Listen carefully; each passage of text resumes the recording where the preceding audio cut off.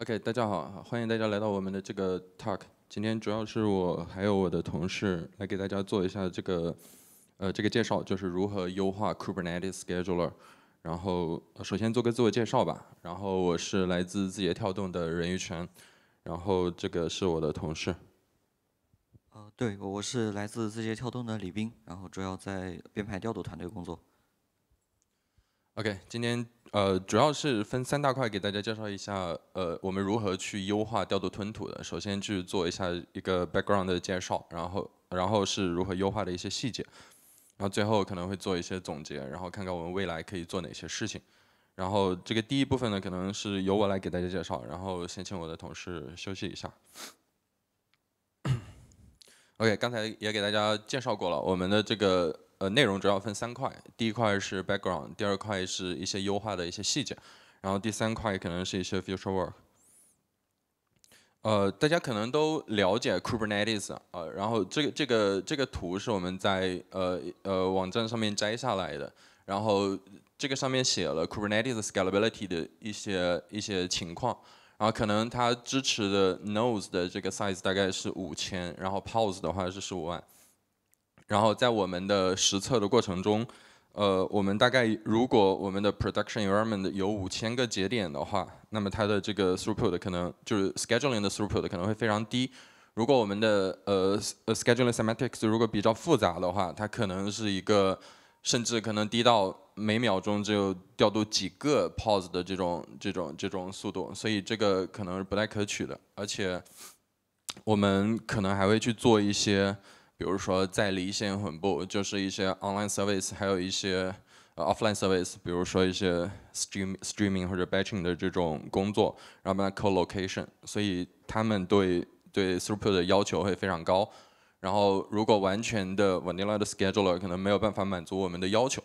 然后这里面我们也提到了，就是说 Kubernetes，首先 Kubernetes Scheduler 它在呃呃 feature 支持上面可能就没有办法比较好的去支持一些 offline tasks。然后现在呃 Kubernetes Scheduler 他们也做了呃就 Kubernetes Community 也做了一些工作，就是比如说他们就是去研发了一些 KQ 或者一些呃类似的这个呃这个组件或者功能去支持一些 offline 的一些调度，就比如说 streaming 或者 batching。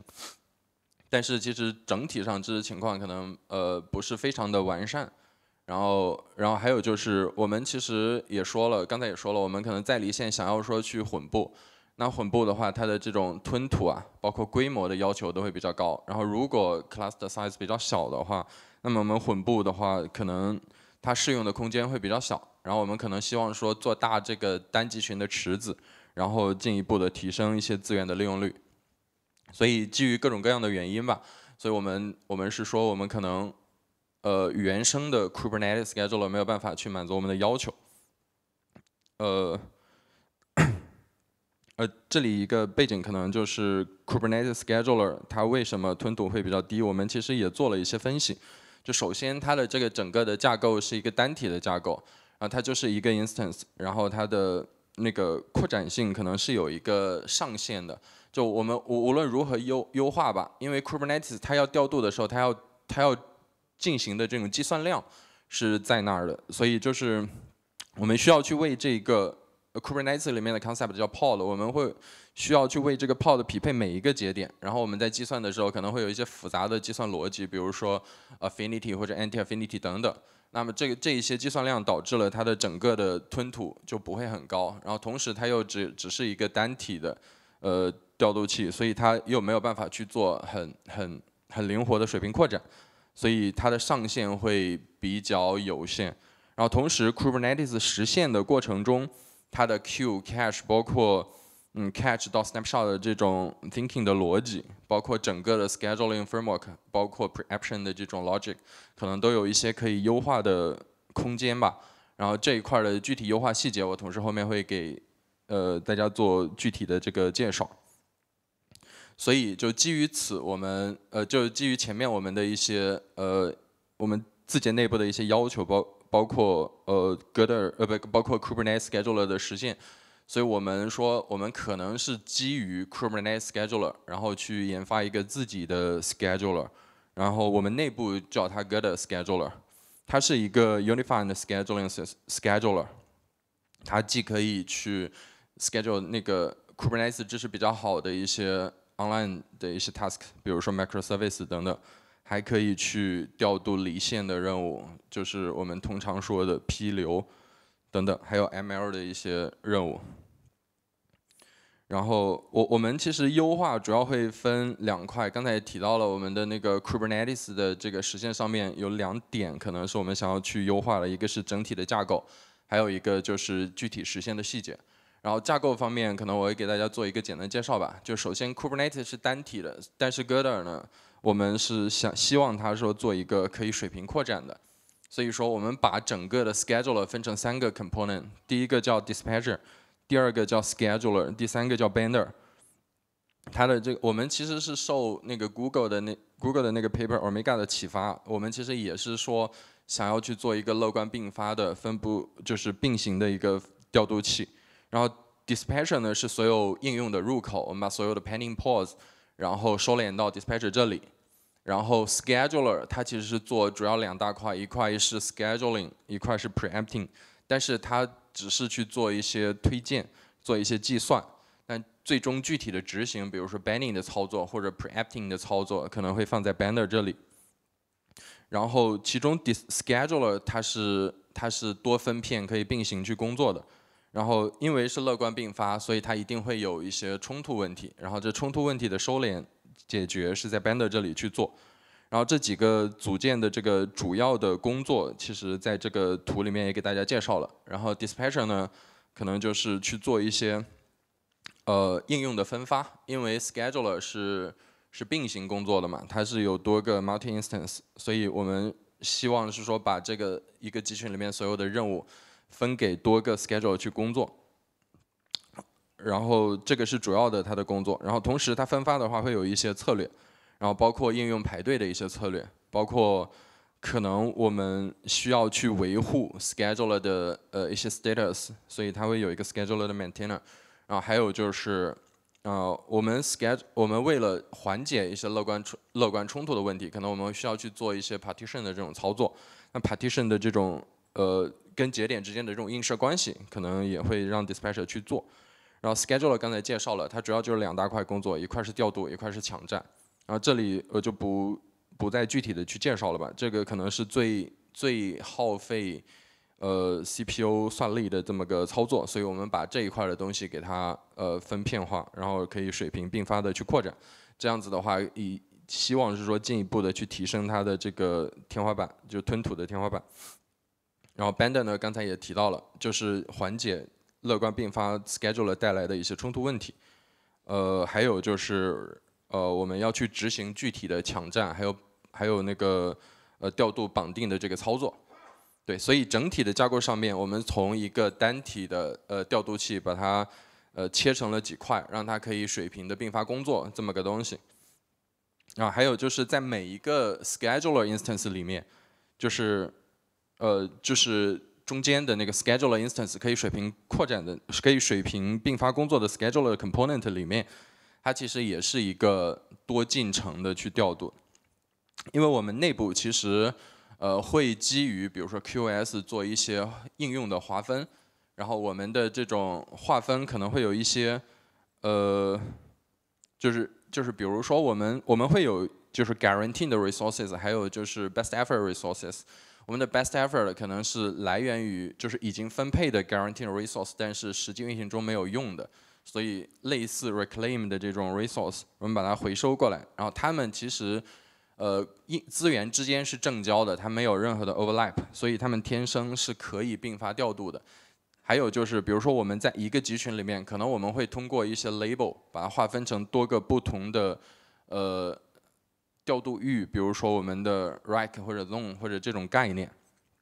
那么不同的呃调度域之间，它们的资源也是也是没有 overlap。所以它们天然是可以呃 concurrent scheduling 的，所以在单个的 scheduler component 里面，我们也是可以多多线程的去并发调度的。但是这个的前提是说，我们我们的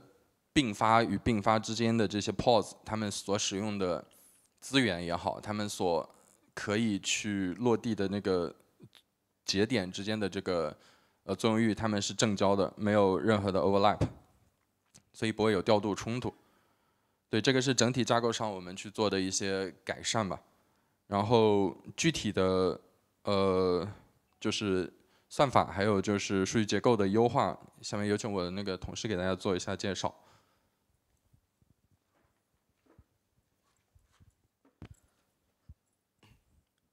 嗯，OK，就是首先分片并发是一个最直观的优化方式，然后接下来我们会介绍一下我们怎么样通过各种算法和数据结构把单个分片内的吞吐优化到极致。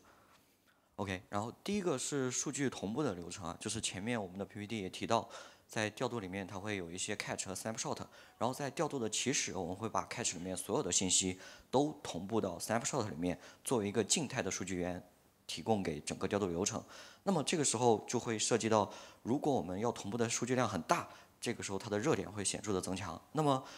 怎样减少这个数据同步的开销呢？就是我们期望能够通过一些某种机制来让这个同步变得增量，而不是全量。呃，熟悉 K8s 源代码的同学可能知道啊，就是 Cooper Scheduler 它使用了一个类似于 LRU 的机制去追踪 node info，然后给这个 node info 去附着一个 generation 的时序值。借助这个时序值，我们能够去通过一些时序降序的便利来找到那些需要更新或者需要添加的对象。然后，如果是有一些对象需要删除的话，我们会在整个对象便利之后，从通过反向的便利 snapshot 找到那些需要删除的对对象对象。OK，这个是一个整个的增量更新的呃简单的一个机制啊，这个也在 Cooper Scheduler 里面有实现。但是问题的点在于，在 Godot 里面，我们不仅要维护 Node Info 这一种数据结构，我们有各种各样丰富的 feature、丰富的数据依赖，然后各种数据结构可能都需要增量更新，所以我们把它抽象出一个基础的一个存储，做一个公共公共的呃 Generation Store 来使用。具体来说，Generation Store 会提供一个读和写两个方法，然后这个接口对象会有两套不同的实现，一个是 List Store，意味着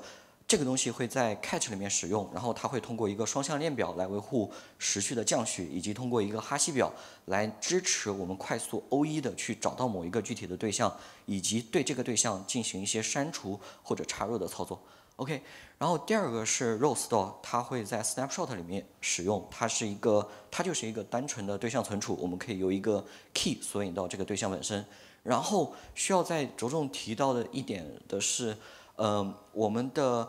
呃，在 list store 里面，真实的对象是作为一个链表元素的 subfields，或者说作为一个结构体字段来存储的。然后，当我们去更新一个对象的时候，这个 generation 值是在我们调用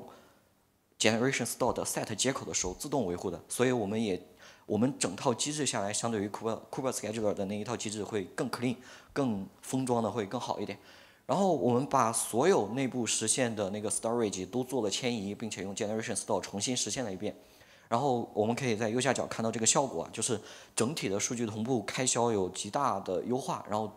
最终反映到我们的 e to e 上面，就是整体 e to e 从分钟级下降到了毫秒级，而且保持了一个比较长期的稳定。OK，接下来是数据同步的第二个环节，就是嗯，出于调度效率的考量，其实每一个 pod 在调度的时候都不会便利所有集群中所有的节点，而是找到一定数量的可信节点之后，或者是一定比例的可信节点之后，就会立即停止。那么这个调度就一定会有空间局部性。嗯，K8s 上游它在为它尝试消除 mitigate 这个空间局部性的做法是说，它在 catch 里面按照一颗。呃，按照拓扑域去维护一颗 node tree，本质上它是一个二维数组，就像图左边所示的那样。然后在调度进行调度起始进行数据同步的时候，会把这个 node tree 按照横向便利的方式把它压平压平成一个线性的节点列表，就像右边这样。呃，但是这个机制有两个比较明显的问题啊。第一个是说它期望做的离散，但实际上并不离散，就像我们。在第二行的时候，我们一开始便利的四个节点，可能每一个 zone 里面都会有一个节点。但如果我们便利到最后，我们可能会发现末尾的这些节点都属于同一个数量比较多的 zone。所以这个这个离散是没有办法做保证的，它只是可能尝试这样去做，但并没有实现真正的离散。第二个更严重的问题是说，整个这个线性列表的重建逻辑非常的重型，而且它的触发条件非常容易达到，比如说有一些节点的增加、节点的删除或者一些其他的数量 mismatch 的情况，都会导致整个节点的重建。那么我们就在想，有没有一种方式能够保证真正离散性的同时，利充分利用一些已有的信息来减少这个重建的开销呢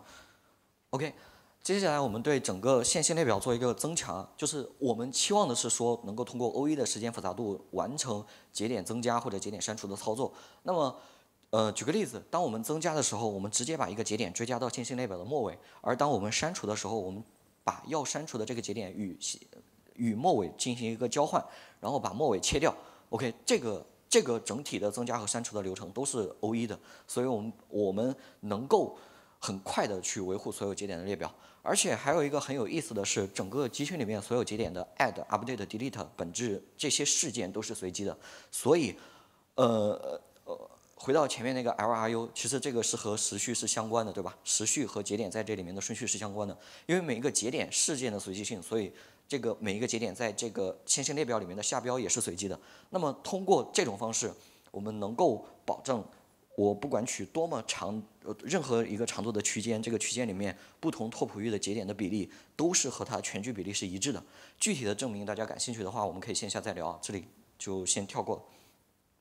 OK，然后这里的效果是说，我们在超大规模集群里面解决了这个数据同步的热点开销，呃。这里有一个呃线上的一个 case 啊，就是我们有一个超过两万节点的超大规模集群，然后这个集群里面有超过一百万个 pod，以及它每秒都在处理超过一千 pod 的 incoming workloads。OK，然后在呃通过前面的这个优化，整体的这个 E to E 的时延主要分时时延的主要分布从上面的那个分钟级下降了一个毫秒级。当然，你可以看到右上角其实还有一些比较长的 E to E 啊，这个是因为它有一些 pod 确实没有办法被调度，它就是调度了很多轮次，也没有办法调度完成，所以拉长了整体的时间。但是对于那些可以调度的 pod，都能够在几十毫秒内得到调度。然后呃，另外说明一下，这里的 E to E 是说一个 pod 在进入我们 Gder 的 dispatcher 进行分发的时刻起，一直到 Binder 创建 create binding 结束，所以它是一个多组件的一个流程。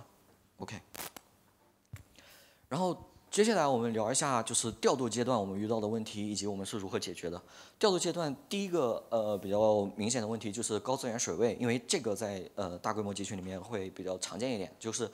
呃举个例子来说，在呃调度的时候，在当前的这个 filter 和 score 的机制下面，我们需要找到一定数量的 feasible nodes 进入后面的 score 流程。OK，假设我们现在就是要找到两个 feasible nodes，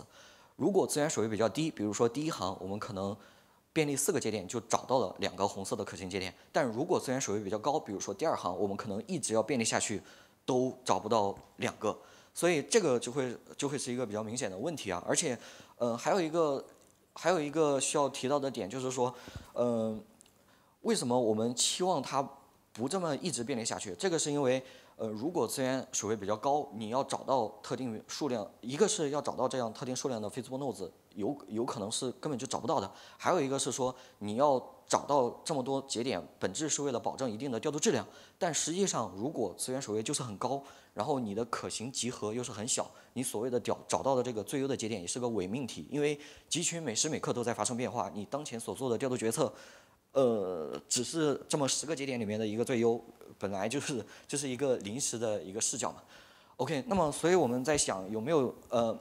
首先上游 K8s 它提供了一个调呃那个参数配置啊，就是我们可以通过一些呃 percentage 或者是一些 number 来决定我要 filter filter 过去参与 score 的节点的数量，但这个是一个静态的值，它并不适用于大规模的生产集群，尤其是当大规模生产集群里面它的资源水位每时每刻、每天每个小时都在频繁波动的时候。呃，OK，那么我们就在想，能否构建一个更加智能的动态调节的机制？这个机制可以根据当台当前集群运行的状态做一些调整，而不需要外界的干预。最简单、最简单的一个 case 是说，我们让这个 feasible node 的阈值伴随着 filter node 的数量增加去减少，通过这种方式来让它提前的结束整个 filter 过程。这里的呃。当然，我们还有一些更复杂的因素可以考虑在内啊，比如说，我们可以不仅考虑这个 filter node filter 已经 filter 的 node 的数量，还考虑还可以考虑一些 pending pod，还可以考虑一些就是那个当前的 throughput incoming 速率等等。然后，呃，通过这种方式，我们可能在这边就是当我们便利到 Node 九的时候，就直接达到了那个下降的那个新的阈值，那么就提前结束了。OK，通过这种方式来呃快速的结束整个 filter 流程。呃，重要的是就是我们这所有的一切都会在调度器内部去智能的去做调整，它会根据集群状态自己去动，而不需要外界的干预。OK，然后接下来是一个效果，就是我们可以看到，呃，除了那种根本无法调度的 pod 之外，其他的所几乎所有的 pod，它的整体的 algorithm algorithm latency 都下降了超过百分之五十，而且还有就是下面有一些我们收集的指标啊，就是 evaluated node 就是意味着它 filter 了多少节点，feasible nodes 就是找到了多少可行的。通过这个数据，你也可以看到，在在升级之后，升级是大概在中间的那个时间点。在升级之后，evaluated nodes 的数量有大幅的减少，但是 feasible nodes 并没有明显的下降。OK，这个是一个相当于调度质量和调度吞吐之间的一个呃自动化的 trade off。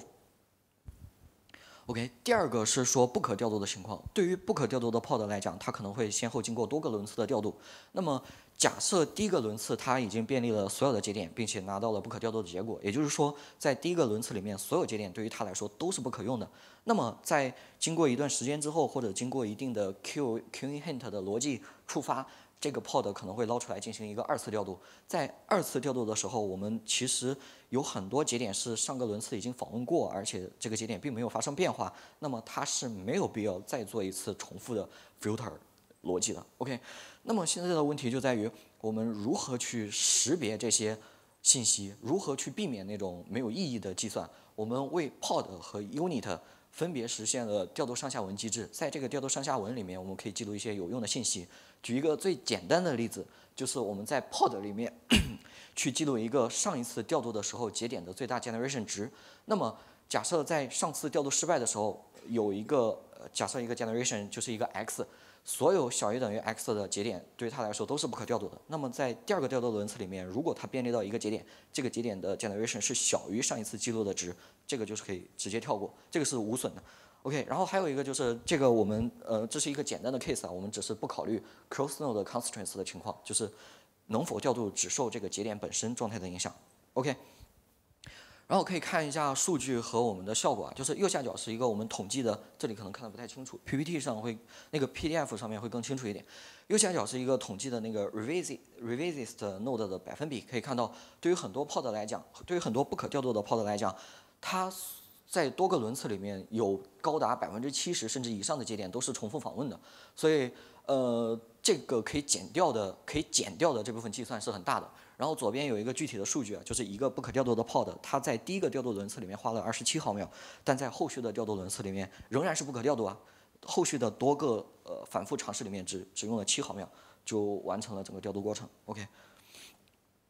接下来是呃另一个最重型的过程啊，就是抢占。呃，我们知道抢占它本身也是一棵搜索树，它会并发的在每一个节点上去执行大量的重型的计算，包括它要决定一个节点上所有的 pod 每一个 pod 能否被抢，以及如果它可以被抢，真正要选择作为 victim 的是哪些，以及我们把节点选出来之后，这些节点里面怎么找到我们真正要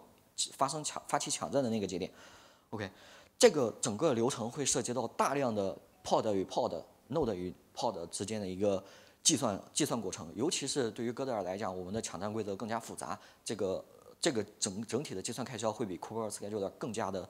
要重很多很多倍。OK，那么呃，我们就考虑，如果我们的计算逻辑本身没有办法简化，有没有方式通过缩小数据范围的方式来实现整个流程的加速呢？第一个点是说，我们怎样去缩小一个节点上面参与抢占的 Pod 的范围？OK。呃，考虑到优先级是抢占的基本原则，其实我们可以提提前在节点上面基于优先级对 pod 做分类和维护。比如说，一个节点上原来有 p 零到 p 十有十来个 pod，但是如果我们对把一些不可调度的、不可抢占的 pod 直接踢掉，把可抢占的 pod 按照一些规则，比如说我们哥德尔内部定义的一些 QoS，给它做一个分类，然后按照优先级去做排序，那么对于一个具体的 pod 来讲，它需要考虑的 pod 其实只有前面的两个，所以这个数据范围就从十来个缩减到了两个。OK，这个是让更少的 pod 去参与抢占。第二个是说，我们有没有一种方式让更少的节点去参与抢占？嗯，因为我们考虑到抢占的本质是释放资源。那么，如果一个要调度的 pod 的优先级是确定的，它能够通过这个优先级去抢占的 pod 的集合也是确定的。那么在这个集合下面，它能够释放的资源也是确定的。如果我们能够比较快速的判断，哎，我抢占掉一批节一批 pod 之后，释放的资源与节点剩余资源加在一块儿，能否满足当前 pod 的要求？如果不能满足，那么这个抢占后续的抢占流程都可以被跳过，因为它一定是不能不能成功的摆摆放当前要调度的 pod。OK。那么接下来的问题就是，我们已经有了优先级，有了排序，然后我们要怎么样确定某个优先级下面可以释放的资源量呢？这个本质上是一个资源前缀和的问题。OK，呃，现在呃更加复杂的点是说，一个节点上面的 pod 它会以非常高的频率去插入删除。我们要怎么样去维护节点顺序，就是基于优先级的排序的同时，去维护这个资源前缀和呢？我们引入了一个 split tree 的数据结构。这个数据结构它本质是一个二叉搜索树，我们可以在 log n 的时间复杂度内完成插入删除，以及我们通可以通过一些 split 的操作来旋转这棵树。来通过数的子数求和的一个子数和，把它转成一个区间和。OK，通过这种方式，整整个的插入、删除以及查询都可以在 log n 的时间复杂度内完成。也就是说，即便一个节点上有两两百个 pod，我们也可以在八次计算之内把一个资源前缀和算出来。OK，呃，最终的效果是说我们在整个抢占流程上面实现了一个比较高效的减减脂啊，就是可以看到就是。嗯，并非所有的节点都会进入抢占流程，也并非所有的 pod 都会进进进入抢占流程。然后在大规模的这个潮汐混布集群里面，我们在潮汐场景会有大量的抢占嘛，整体的抢占吞吐提升了十倍。然后不可调度的 case 可以在两毫秒内通过启发式抢占抢占快速减掉，而不可调度的 case 之前是最花时间的部分。OK，然后除此之外，我们还有一些比较创新的设计，它在。它在除了增强扩展性的同时，也能够比较好的去实现一些性能的优化。比如说这边我们有一些 unit 语义抽象以及 unit 的调度框架。嗯呃，具体的细节比较多，感兴趣的大家可以线下聊。就是我们这里只要关心，我们可以通过这个东西实现一些调度阶段的划分以及调度数据的预处理。比如说对于 d e m o n set 的 pod，我们可以在 locating 阶段把这个整个节点范围缩小到一个节点，因为 d e m o n set 它的 node affinity 就指定了一个节点。OK。呃，这样子我们在一个两万节点的规模的集群里面，把 demon set 的调度时间从三十毫秒打到了零点三毫秒。我们单机有很多 agent，那些本身都是 demon set，它们的更新频率也很高，所以这个就解决了那种单机 agent 的更新的效率的问题。OK，还有一个就是我们可以通过一些 unit 聚合，在这个 unit 框架之下，我们可以通过一些 unit 聚合来实现更高效的调度。呃，这边有一个 case 啊，就是呃右上角是一个我们的数据统计，就是我们通过 application unit。在一次调度之内，用一个 unit 汇聚了上千个 pod，然后左边是我们的效果，呃，就是我们的升级时间是在大概中间的位置，就是可以看到升级之后，整个集群的 e to e 都被打到了呃一秒之内，然后这个集群是一个两万五千节点的超大规模集群，呃，在升级之前，你可以看到它的整体的这个调度是有比较剧烈的波动的，整体的这个 e to e 可能高的时候会超过呃一分钟。对，然后在升级之后，所有的这些任务都能在一秒之内得到调度。OK，这个是我们的呃 Unit 聚合的调度效果。呃，然后第二个是说有一个 Common Store 的数据流机制。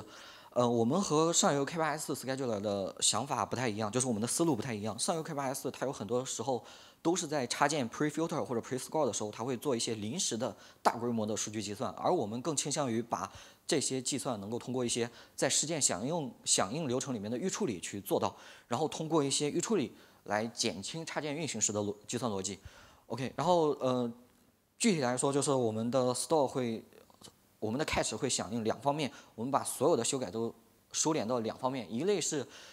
外源性的集群变动，比如说各种 resource object 的 add、update、delete，还有一类是内源性的调度决策，比如说 pod 的 assume 和 forget 等等。然后，嗯，细节比较多，大家感兴趣的可以下来聊啊。就是重要的是通过这个机制，我们能够在调度功能不断扩展，就是我们不断的新增 plugin，不断的新增存储，即便在这样的一个功能扩展的爆炸扩展的一个。情况下，我们仍然能够通过这一套机制来保证整个调度的性能不会产生回退，甚至说我们能够避免新的热点产生。OK，这个是一个标准的一个数据流机制。OK，然后我的这个部分到此结束，玉泉。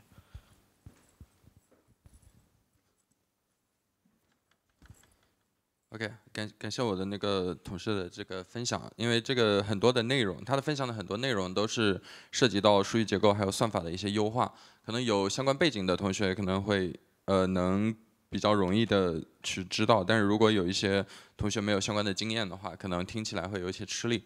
然后大家如果感兴趣或者有任何问题的话，可以线下找他去呃再去讨论。然后就是我们刚才也提到了嘛，就是说我们通过优化架构，还有优化一些数据结构跟算法，其实我们我们能做到什么呢？我们能做到在我们的单单分片，就是我们的 scheduler，刚才也也提到了 dispatcher、scheduler 跟 bender 三组件，我们只需要一个 scheduler instance 的时候，我们在资源充足、调度语义，呃，就我们线上的调度语义可能相对来说比较简单的情况下，我们能做到两千每秒 pause 的吞吐。呃，然后如果我们把这个 scheduler 的 component 乐观并发增加到，比如说三组件，三个 scheduler component concurrent scheduling 的情况下，我们基本可以做到五千 pause 每秒的这个吞吐。当然，我我想说一下，这里的这个呃吞吐是发生在一集群资源规模比较充足，它的资源水位不是很高，然后命中率就是调度的命中率比较高的情况下，然后其次就是它的调度语义。不会有非常非常复杂的，比如说呃 anti affinity 这种比较耗计算的这个这个这个语义这个情况下，还有就是刚才我同事也提到了，就是我们字节内部我们最大的集群规模是超过两万节点，超过两万节点，然后我们的这个应用 instance 的数量是超过一百万的，然后在这个情况下，get scheduler 也是能比较好的去去。去去支持的，然后当然它也有一系列的其他组件的优化，比如说 API Server，包括后边的 A D C D，然后等等。然后通过就是我们扩大单集群规模的话，其实我们也能比较好的去做到，比如说呃混布或者提升 CPU 利用率等等，这个我们最开始强调呃最开始提到的我们的一些出发点。那这个来源于我们就是刚才说到的 g o d 是一个呃 unified scheduler，它除了呃支持 micro service 的这种调度，还有支持离线的调度，所以我们能比较好的去做混布。呃，还有至于后面 g o d 因为现在 g o d 已经开源了，然后我们现在呃我们还有一些可能想要去做的呃一些优化吧，就比如说现在我们刚才提到了 g o d 三组件。Dispatcher、Scheduler 跟 Banner，它们之间的通信现在其实是利用呃呃 Kubernetes 的这一套机制，Event Event 驱动的，然后都是可以都是连 API Server，然后通过 etcd 的这些 Events 来去相互之间去交流的。那后面我们可能会说预期把呃他们的通信收敛到呃一个内部的通信机制里面去。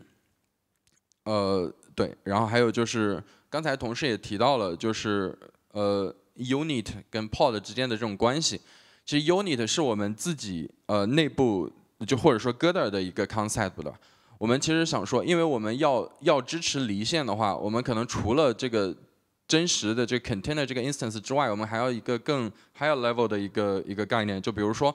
呃，经常经常我们能遇到，比如说 ML 的就 machine learning 的应用的话，它可能很希望说一个 job 里面所有的 task，他们都放在一个网段或者一个交换机底下。所以这个时候，Kubernetes purport 的调度的情况下，我们其实没有办法去满足这个需求的。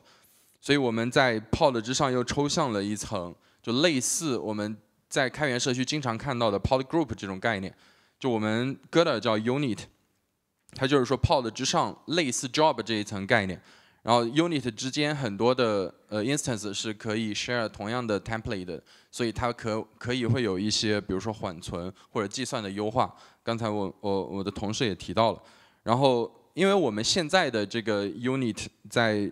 就是具体的结构化的过程中，我们其实支持的是只有 pod group 这一层这一个实例对象。那未来我们比如说 Kubernetes 里面的 replica site。或者 stateful site 等等，它们都是类似这么个概念，然后未来也会是说提供一个更通用的 unit 的这样的一个 concept，然后去支持这种批调度，然后还有就是我们呃刚才同事也介绍了很多就是数据结构跟算法的优化，然后我们可能未来还是说更就是比如说现在我们如何去 trigger 如何去触发那些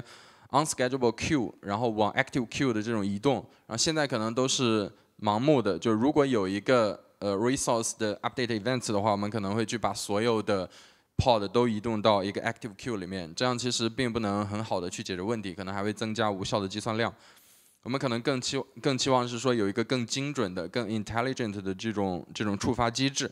然后以及我们更更好的一些数据结构跟算法的实现，这个可能都是未来的一些计划吧。然后呃刚才也提到了我们的 Good Schedule 现在已经开源了，这个开源的这个呃仓库就是这个这个 link，然后大家感兴趣的话也可以看一下。然后还有就是呃字节的这个。呃，开源相关的这个东西在二楼有一个展区，如果大家感兴趣的话，可以到那个展区那边去了解具体的内容。好，今天的分享主要就到这儿，大家有什么问题吗？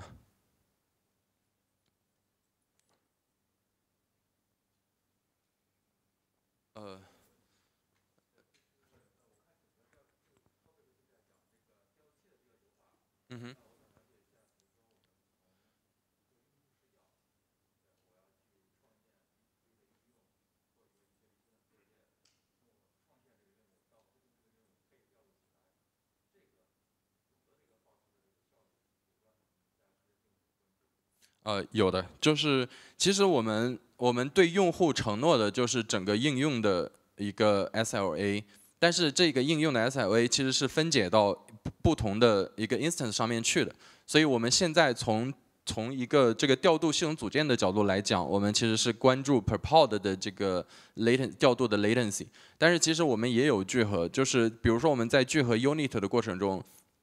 就是比如说我们的一个应用，我们把它放在一个 unit 或者一个 pod group 里面去，然后整体的这个调度的 latency 也是会有优化的。然后，呃，回答你的问题就是对外我们呃给用户给字节内部的用户承诺的是用户级别的 SLA，但是我们系统优化的话还是 per pod，的但是 pod 跟应用之间的映射关系我们也有优化逻辑。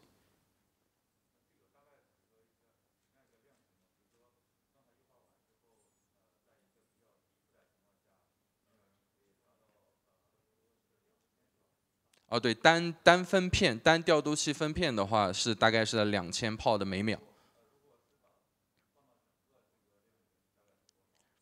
整个链路是指什么？我说整个链路是指什么？哦，这个整整个链路会比较长，就首先它依赖就是，呃，调度是其中的很小的一环，它占比其实比较小的，我们大概。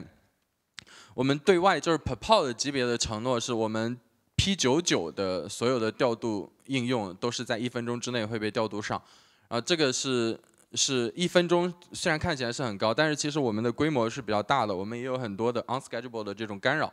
所以基基本上落地到每一个应用的话，都是在呃秒甚至毫秒级别。但是整个的 end to end 的这个时长，它受受影响会很很很多，就是调度是其中占比很小的一环。它最大的是，比如说拉镜像或者 set up 这个 container 的时间，整体上是在分钟级别，字节内部。对，呃，还有问题吗？嗯，啊？呃，我我觉得时间应该好像差不多了，我们就最后一个问题吧。然后大家有问题的话，我们可以待会这个会议结束，我们线下交流，好吧？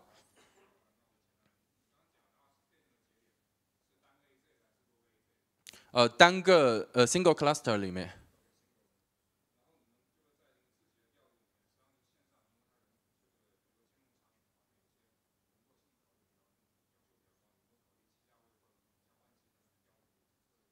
会就是容灾的考虑的话，我们其实有很多 level 不同 level 的容灾，比如说我们一个一个 job 或者一个应用，它们 instance 不能放在机器一个机器上面。还有就是我们不同的机架上面也有就是容灾，还有不同的集群，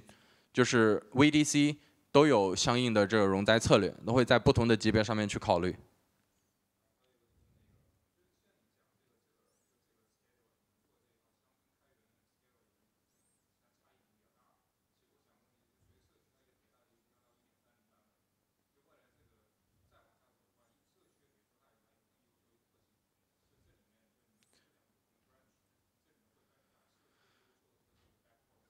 哦，对，这个是个好问题啊。就是首首先就是我们其实是会 follow Kubernetes schedule 社区的这个发展，然后一些比较比较我们可能需要的优秀的特性，我们会 backport 过来。但是因为代码的差异是会比较大的，所以没有办法比较好的实时的去去去保持一致。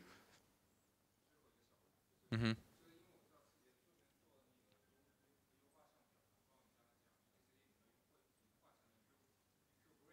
Yeah.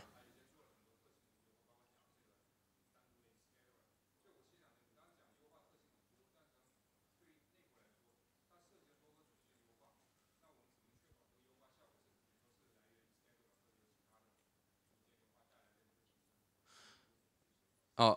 因为我们每一个组件都会有自己的 SLA 跟 SLO 的指标，然后他们会关注在，呃，同时我们每一个应用整体的 end-to-end 的这个时间也都是有有有跟踪的。然后今天呃最这个 KubeCon 上面我们好像会分享一个 Calometry 这个这个 project，